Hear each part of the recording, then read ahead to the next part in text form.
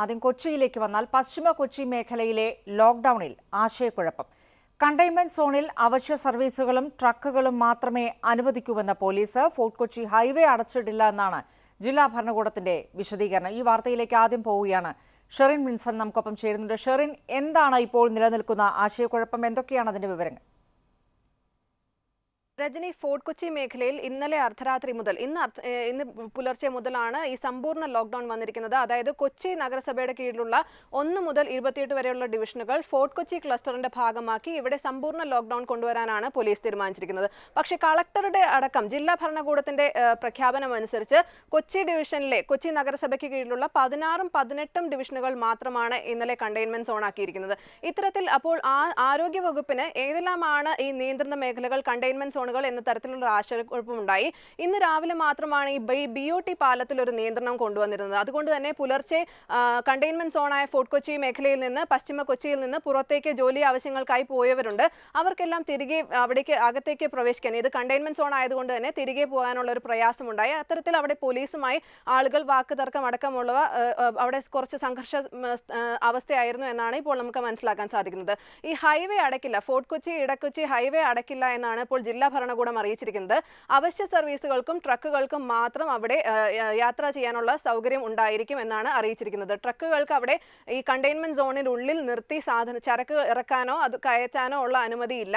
അതുപോലെ തന്നെ അവിടെ ട്രക്കുകളിലേക്ക് ആളുകളെ കയറാനോ മറ്റു തരത്തിൽ ആ കണ്ടെയ്ൻമെന്റ് സോണുകളിലുള്ളവരുമായി സമ്പർക്കം പുലർത്താൻ ഒരു തരത്തിലും അനുവദിക്കുകയില്ല എന്നാണ് ജില്ലാ ഭരണകൂടം അറിയിച്ചിരിക്കുന്നത്. ഡി സി പി പൂങ്കുഴലിയാണ് കഴിഞ്ഞ ദിവസം ഈ ഫോർട്ട് കൊച്ചി മേഖല പശ്ചിമ കൊച്ചിയിൽ സമ്പൂർണ ലോക്ക്ഡൌൺ പ്രഖ്യാപിച്ചുകൊണ്ട് പോലീസിന്റെ ഒരു വിവരങ്ങൾ വരുന്ന ഒരു ഗ്രൂപ്പിലേക്ക് ഈ വിവരം ഇട്ടിരിക്കുന്നത്. എന്നാൽ ഈ സമ്പൂർണ ലോക്ക്ഡൌൺ സംബന്ധിച്ച് ജില്ലാ ഭരണകൂടം ഇത്തരത്തിൽ ഒരു അറിയിപ്പും ഇതുവരെ ഇറക്കാഞ്ഞതാണ് ഈ ഒരു ആശയക്കുഴപ്പത്തിന് കാരണമായിരിക്കുന്നത്. ഇപ്പോൾ കണ്ടെയ്ൻമെന്റ് സോണിന് പുറത്തേക്ക് ജോലിക്ക് ആവശ്യമുള്ളവർ ജോലിക്കായുള്ളവരെ പോലീസ് പറഞ്ഞു വിടുന്നുണ്ട്. കുഴപ്പമില്ല എന്നുള്ള തരത്തിൽ പറഞ്ഞു വിടുന്നുണ്ട്. പക്ഷേ തിരികെ ഈ കണ്ടെയ്ൻമെന്റ് സോണിലേക്ക് ആരെയും തന്നെ പ്രവേശിക്കാൻ അനുവദിക്കില്ല. കൃത്യമായ കാരണങ്ങൾ ഉണ്ടെങ്കിൽ മാത്രമാണെങ്കിൽ മാത്രമേ ഇത് പോലീസിന് ബോധ്യപ്പെട്ടാൽ മാത്രമേ ഇവരെ അകത്തേക്ക് പ്രവേശിപ്പിക്കുകയുള്ളൂ എന്നാണ് ഇപ്പോൾ പോലീസിന്റെ നിലപാട്. രജനി. ഷെറിൻ തുടരുക ഷെറിനിലേക്ക് വരാം. ജോഷി കുര്യൻ കൂടി നമുക്കൊപ്പം കൊച്ചിയിൽ നിന്ന് ചേരുന്നുണ്ട്. ജോഷി ജോഷി ഇന്നൊരു എന്താ ഈ പറഞ്ഞതുപോലെ ഒരു വർക്കിംഗ് ഡേ ആണ്. അതുകൊണ്ട് തന്നെ വലിയ രീതിയിൽ തന്നെ ആളുകൾ റോഡിൽ ഇറങ്ങുകയും ഈ പറഞ്ഞ പോലെ ജോലിക്കൊക്കെ പോവുകയും ചെയ്യുന്നൊരു സമയം കൂടിയാണ്. ഏത് തരത്തിലാണ് ഇപ്പോൾ ഇപ്പോൾ ഇത്തരത്തിലുള്ള ഒരു അവ്യക്തത ഈ ലോക്ക്ഡൌൺ സംബന്ധിച്ചുള്ള അവ്യക്തത വലിയ രീതിയിലുള്ള ഗതാഗത കുരുക്കിന് വരെ നഗരത്തിൽ കാരണമായിട്ടുണ്ടെന്നാണ് മനസ്സിലാക്കുന്നത്. എങ്ങനെയാണ് ഈ സാഹചര്യത്തെ വിശദീകരിക്കാൻ സാധിക്കുക?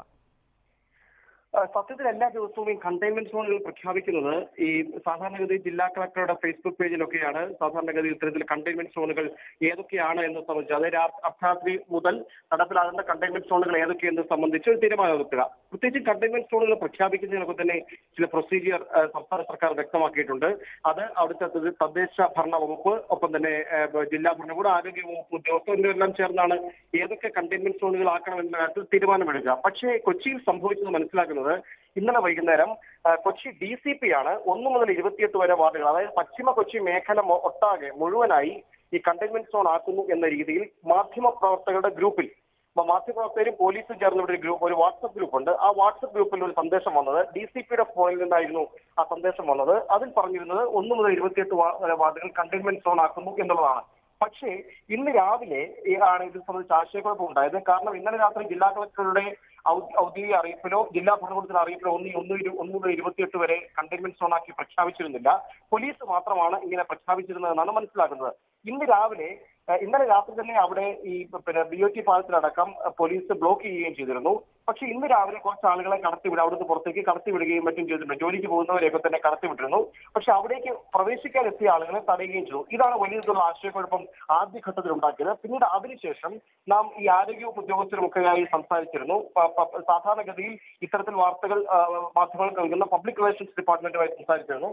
ആ ഘട്ടത്തിൽ അവർ പറയുന്നത് ജില്ലാ ഭരണകൂടത്തിന്റെ കണക്കനുസരിച്ച് ഈ ഒന്ന് മുതൽ ഇരുപത്തിയെട്ട് മുഴുവൻ വാർഡുകൾ കണ്ടെയ്ൻമെന്റ് സോണാക്കി പ്രഖ്യാപിച്ചിട്ടില്ല എന്ന നിലയിലായിരുന്നു ആദ്യഘട്ടത്തിൽ മനസ്സിലാക്കാൻ സാധിച്ചത്.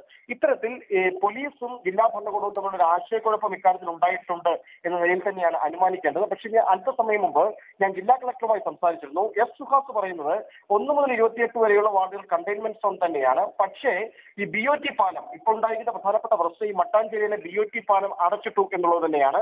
അങ്ങനെ ബി ഒ ടി പാലം അടച്ചിടാൻ ഉദ്ദേശിക്കുന്നില്ല. കാരണം അത് ഹൈവേ ആണ് പ്രധാനപ്പെട്ട റോഡാണ് അതുകൊണ്ട് അത് അടച്ചിടില്ല.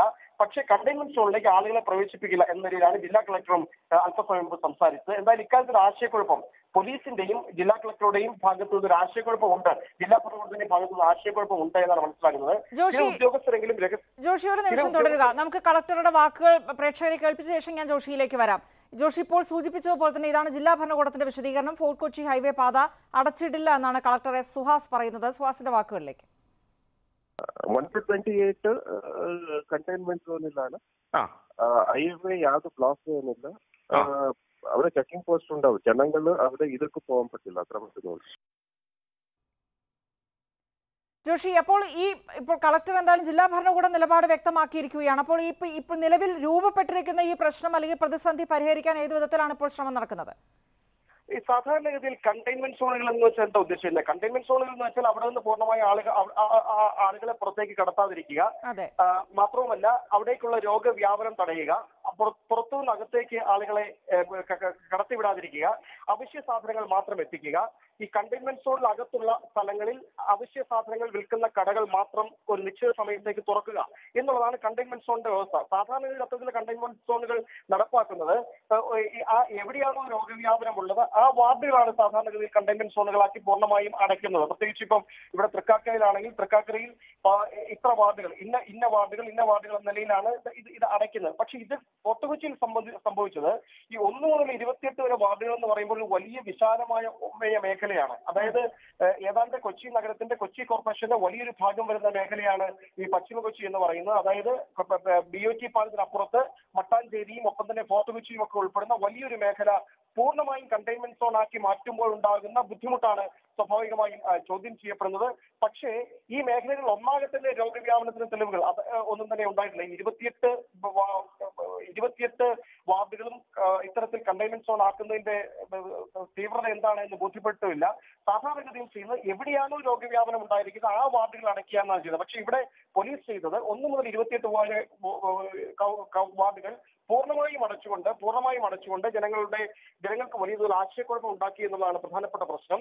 ഇക്കാര്യത്തിൽ ആശയക്കുഴപ്പം പരിഹരിക്കാനുള്ള ശ്രമമാണ് ജില്ലാ തലത്തിൽ നടക്കുന്നതെന്നാണ് മനസ്സിലാക്കുന്നത്. രാവിലെ തന്നെ ഈ ജില്ലാ ഭരണകൂടവുമായി ബന്ധപ്പെട്ടവർ ഈ ആരോഗ്യവകുപ്പ് ഉദ്യോഗസ്ഥരോട് നിലവിൽ ഏതൊക്കെയാണ് കണ്ടെയ്ൻമെന്റ് സോണുകൾ ഏതൊക്കെ നഗരത്തിലെ ഏതൊക്കെ വാർഡുകളാണ് കണ്ടെയ്ൻമെന്റ് സോണുകൾ എന്നതിനെ സംബന്ധിച്ച വിശദാംശങ്ങൾ തേടിയിട്ടുണ്ട് എന്നാണ് അല്പസമയം മുമ്പ് മനസ്സിലാക്കുന്നത്. രജനി ജോഷി എന്തായാലും ചെറുതല്ലാത്തൊരു ആശയക്കുഴപ്പമാണ്. രാവിലെ ഇറങ്ങിയ ആളുകൾ വലിയ രീതിയിൽ തന്നെ വട്ടം ചുറ്റി എന്നുള്ള കാര്യത്തിൽ യാതൊരു സംശയവുമില്ല. ഇപ്പോൾ ഈ ബി ഒ ടി പാലത്തിലടക്കം രൂപപ്പെട്ട ഗതാഗത കുരുക്കൊക്കെ ഏതെങ്കിലും തരത്തിലൊരു ശമനം വന്നിട്ടുണ്ടോ ജോഷി? എന്താണ് ജോഷിക്ക് മനസ്സിലാക്കാൻ സാധിക്കുന്നത്?